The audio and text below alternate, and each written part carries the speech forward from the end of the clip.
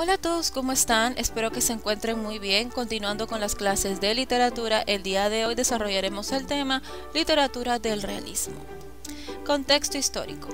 A fines del siglo XVIII en Europa sucedió la llamada Revolución Industrial, hecho que, unido al liberalismo económico promovido por Adam Smith, originó la consolidación de un nuevo sistema económico denominado capitalismo.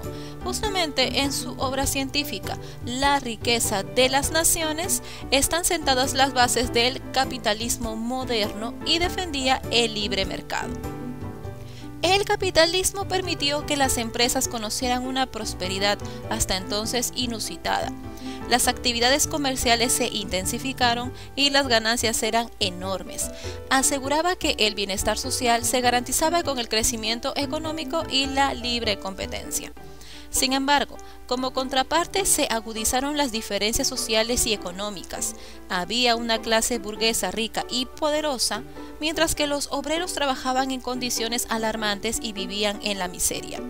Esta situación originó la reacción de los intelectuales de la época. Uno de los principales críticos del capitalismo fue el filósofo alemán Karl Marx. Las nuevas condiciones en que vivía Europa durante el siglo XIX generaron una nueva forma de pensamiento que se trasladó rápidamente al arte. La fantasía, el mundo de los sueños, el exotismo, la evasión de la realidad y el individualismo propugnados por el romanticismo se dieron su lugar a una nueva corriente que pretendía reflejar la realidad de manera objetiva.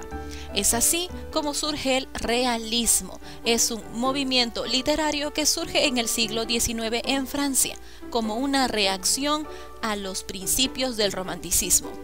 El naturalismo es su versión más exagerada. Características. Número 1 pretendían reflejar la realidad en forma exacta. Trataban de poner los pies sobre la tierra, por ello trataban temas de la vida cotidiana. Dejaron a un lado la fantasía y los sueños.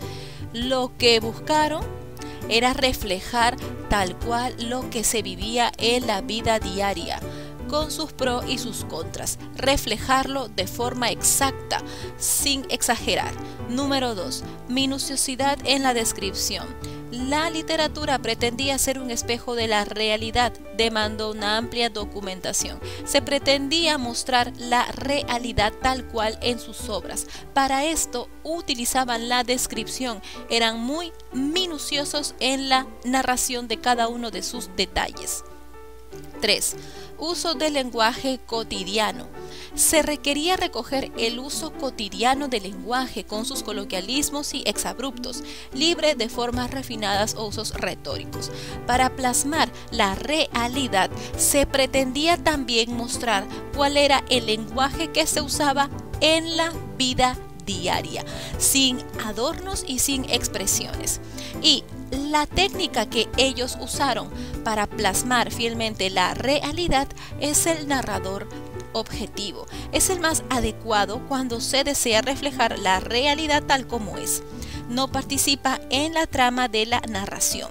Todo lo ve desde fuera y solo da su punto de vista. Por eso la narración se hace en tercera persona. El narrador objetivo puede ser omnisciente y observador representantes de la literatura del realismo. En cuanto a las novelas, en Francia está Stendhal, Honoré de Balzac, Gustave Flaubert. En Rusia, Fyodor Dostoyevsky, León Tolstoy. En los cuentos, en Inglaterra está Charles Dickens y en Rusia, Anton Chekhov. Pasemos a algunos representantes más destacados. En esta oportunidad solamente voy a tocar aunque la mayoría son importantes. Fyodor Dostoyevsky, 1821-1861. Es el representante... Mm, otra vez. Fyodor Dostoyevsky, 1821-1861. Es uno de los... Es, Fyodor Dostoyevsky, 1821-1861 es uno de los grandes representantes del realismo ruso. Su vida está vinculada con la miseria y el sufrimiento, lo cual posteriormente reflejaría en su obra. Adoraba a su madre, pero quedó huérfano de ella. Su padre era un alcohólico perverso y muchas veces deseó su muerte. Forma parte de un grupo de intelectuales que clandestinamente discuten las ideas de los escritores socialistas, lo cual estaba prohibido en la Rusia zarista. Debido a sus actividades políticas fue desterrado a Siberia, donde contrae la epilepsia, enfermedad que lo atormenta por el resto de su vida. Enfermo y perseguido por las deudas contraídas, abandona Rusia. Estando en el extranjero, tiene su mejor producción literaria.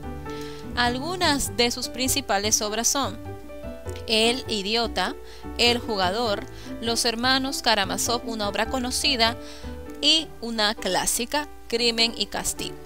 Características de sus obras. Número 1. Dostoyevsky es profundamente psicológico, logra adentrarse en la complejidad del alma humana. 2. En sus personajes se reflejan las debilidades y las miserias del hombre, especialmente de aquellos que han sufrido situaciones extremas de miseria y sufrimiento. Y 3. Dostoyevsky refleja el mundo interior del hombre a través de sus personajes. Bien. Continuemos con Gustave Flaubert, 1821-1880. Es uno de los máximos representantes del realismo francés. Fue hijo de un médico. Su propósito era estudiar derecho, pero su salud deteriorada impidió que logre su objetivo. Entonces se dedica a la literatura. Viajó por Grecia y el Oriente, lo que le sirvió para configurar los escenarios de dos de sus novelas.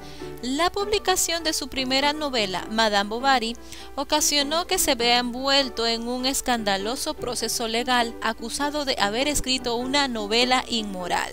El escritor salió absuelto del proceso, pero se opacó el lanzamiento del libro. Flaubert tuvo una vida tranquila, pasó sus años en el campo debido a una dolencia en el sistema nervioso. Algunas de sus obras son La educación sentimental, Un corazón sencillo y su obra más reconocida, Madame Bovary. Características de su literatura. Número 1. Es cuidadoso y minucioso, logrando así una prosa de alta calidad. 2. Los personajes de Flaubert son descritos con precisión, tal como aparecen en la realidad. Y 3. Se documentó durante años para escribir sus novelas, pues pretendía analizarlas a través del método científico. Bien, hasta aquí llega la clase de hoy. Espero que lo hayan comprendido. A continuación desarrollaremos unas cuantas actividades. Cuídense mucho. Hasta luego.